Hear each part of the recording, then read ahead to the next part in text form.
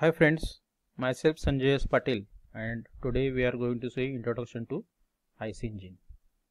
Now content of these presentations are uh, introduction to mechanical engineering, then classification of IC engine, components of IC engine, then nomenclature of IC engine, then difference between SI and CI engine, and finally difference between two stroke and four stroke engine. now let us see basic mechanical engineering or uh, what is mean by mechanical engineering. Actually it combines engineering physics and mathematics principles with material science to design analysis manufacture and maintain mechanical system.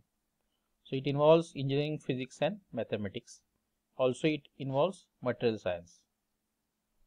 Then mechanical engineering field requires an understanding of core areas like mechanics dynamics, then thermodynamics, material science for selection of material, then structural analysis and electricity.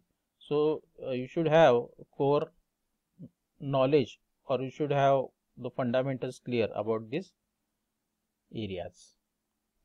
So now let's come to point classification of IC engine. So now IC engine is classified by number of ways. First is number of strokes per cycle that is two stroke four stroke engine. Then type of ignition used that is spark plug SI engine and compression ignition that is CI engine. Uh, then type of fuel used that is petrol or gasoline engine or diesel engine or gas engine. The next classification is type of cooling system. So there are two types of cooling system like uh, air cooled and water cooled engine.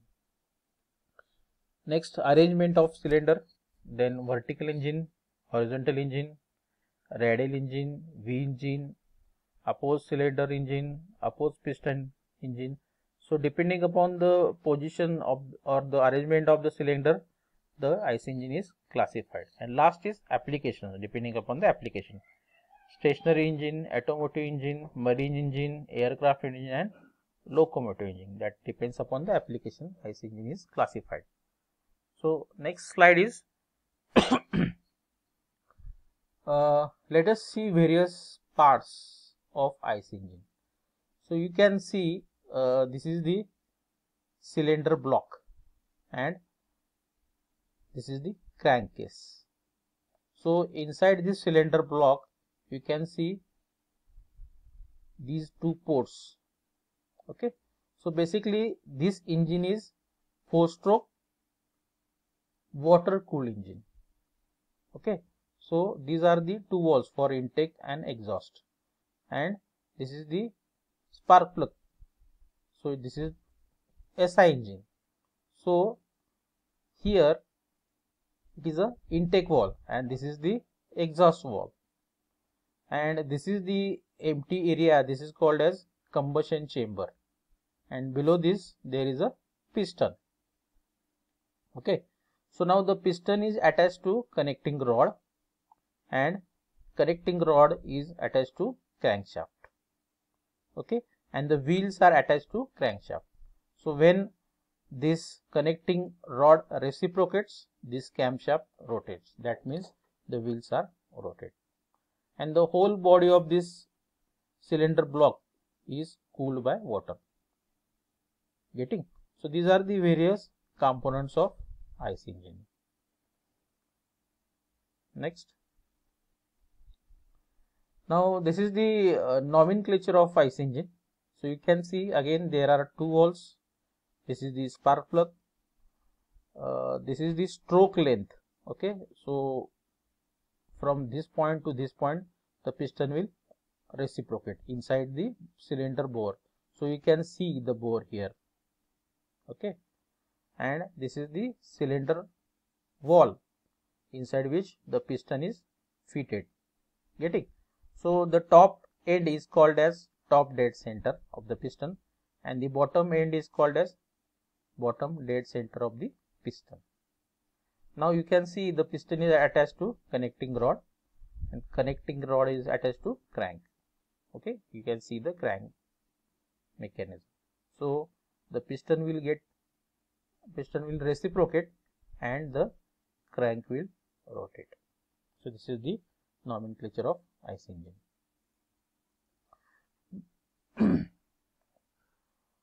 now, let us see difference between SI engine and CI engine, spark ignition and compression engine ignition. So, first definition it is an engine in which spark is used to burn the fuel in case of SI engine. In case of CI engine, heat of compressed air is used to burn the fuel. Okay. Next, fuel use in case of SI engine, obviously petrol or gasoline. In case of CI, diesel. Operating cycle. So, SI engine are based on Otto cycle, CI engine are based on diesel cycle. About compression ratio. In case of SI, low compression ratio. In case of CI, high compression ratio because ignition take, takes place by compressing the air. So, that is why in case of CI engine high compression ratio is achieved. In case for thermal efficiency in case of SI engine high thermal efficiency is achieved. In case of CI engine less thermal efficiency is obtained. Then method of ignition Obviously, in case of SI engine, we have seen spark plug is used to produce spark for the ignition and this spark will ignite the petrol inside the combustion chamber. In case of CI engine, heat of compressed air is used to ignition, ignition of diesel. Then uh, next parameter is engine speed. So, in case of SI engine, high speed engines are obtained in case of CI engine low speed engines are achieved. In case uh, for parameter pressure generation low pressure is generated after combustion in case of SI engine. In case of CI engine high pressure is generated after the combustion due to compression. Uh, next parameter noise production. In case of SI engine it produces less noise. In case of CI it produces more noise. Then intake of fuel. In case of SI engine, air plus fuel combination is used to ignite the fuel. In case of CI engine, only air is intake. So, next parameter is fuel supply. So, in case of SI engine, carburetor is used and carburetor, the function of carburetor is it it has to produce air fuel mixture in a suitable amount of ratio. So, it supplies the combination of air and fuel and it supplies to combustion chamber. So, in case of CI engine there is a injector for injecting diesel inside the combustion chamber. Okay. And finally, application. Application of SI engines are it is used in light commercial vehicle like motorcycle cars etc ci engine they are heavy duty vehicles like bus trucks ships etc right? So this is the basic difference between two stroke engine and four stroke engine okay? So you can see in case of two stroke first stroke is upstroke and second stroke is downstroke. So this is the piston, this is the combustion area you can see here, spark plug you can see here. So in case of upstroke, uh, the fuel mixture will be supplied from this area. You can see the valve, the valve is open here and this is the transport port from which the fuel will get transferred from this point to the combustion chamber. So in case of in case of two stroke there is a transport port and there are no walls you can see here. So for upstroke the piston is in top position it will compress the fuel. So once it get compressed you can see here the spark plug will get ignited okay. So here in downstroke after ignition ignition of fuel due to pressure the uh, the piston will force to move downward.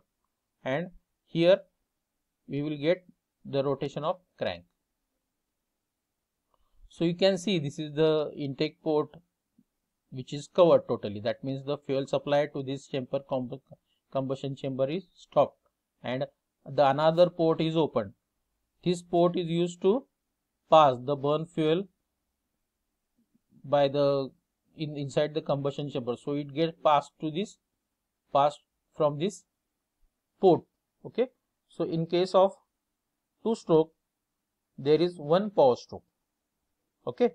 So within one power stroke these two positions of pistons are achieved. So in case of four stroke you can see here intake that is suction then compression then power stroke and exhaust these are the four stroke. So what happens here in case of four stroke you can see there are inlet valve and outlet exhaust valve. Hmm? Inlet valve is for the sake of air fuel mixture outlet or exhaust valve is for the sake of removing the burn gases okay so here there is no transport port so first the intake of air air fuel mixture is drawn is drawn in so you can see in this first figure okay? So piston is at this position at the bottom position. Next compression. So here the inlet wall will get closed outlet wall will get closed and the piston will start moving upside. So it will compress the air. Both walls are closed here in case of compression. In case of power stroke now both walls are closed and the spark plug will get ignited so we will be having a spark and this uh, fuel or the petrol will get ignited and this piston will move downward in case of power stroke. And finally exhaust. So here the inlet valve is closed and the exhaust valve is open. So whatever combustion of this fuel or the combustion gases exhaust gases that will pass through this exhaust valve okay? So these four strokes are achieved during two cycles of crank. Getting? That is the four stroke engine. Now difference between two stroke and four stroke engine. Uh, two stroke. In one revolution of crankshaft and one power stroke is achieved. In case of four stroke, it has required two revolutions of crankshaft and one power stroke is achieved. That is the biggest difference between two stroke and four stroke. Then it uh, it generates high torque in case of two stroke. In case of four stroke, it generates generates less torque as compared with two stroke then uh, two stroke it uses ports for fuel outlet and inlet whereas four stroke it uses valves for outlet and inlet of fuel that is the difference we have seen that there is a transport port in case of two stroke then uh, its engine result in lesser thermal efficiency in case of two stroke in case of four stroke the engine has high thermal efficiency that we have seen. In case of two stroke, large ratio in terms of power to weight. In case of four, four stroke, there is less ratio of power to weight. Then in case of two stroke, it generates more stroke and shows less efficiency. In case of four stroke, it generates less smoke and shows more efficiency. That is the difference.